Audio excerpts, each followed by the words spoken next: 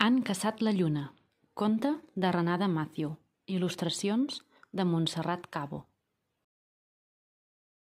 Hi havia una vegada una tribu d'indis que passava molta gana i van decidir de fer una gran cacera.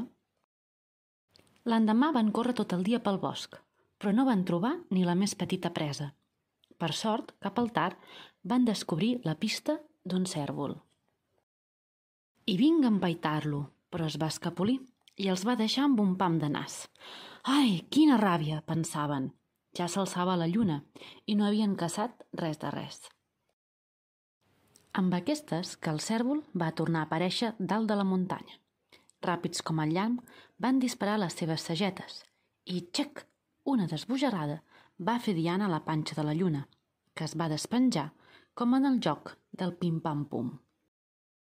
Xaf! Va caure estrepitosament al vell mig de l'estany i es va posar a surar com una bonica pilota de llum. Els indis es van desentendre de seguida del cèrvol i es van llançar a l'aigua per rescatar la lluna. Tots la volien i es van barallar de valent. A la fi, la van dur a la riba amb la sageta encara clavada.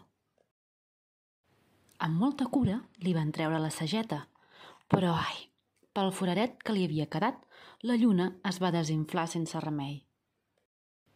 Els indis no s'ho van pensar dues vegades i van bufar i bufar pel foradet i el van tapar amb un pegat de fang. Després, tot cofois, es van posar a jugar a futbol amb la lluna ben inflada.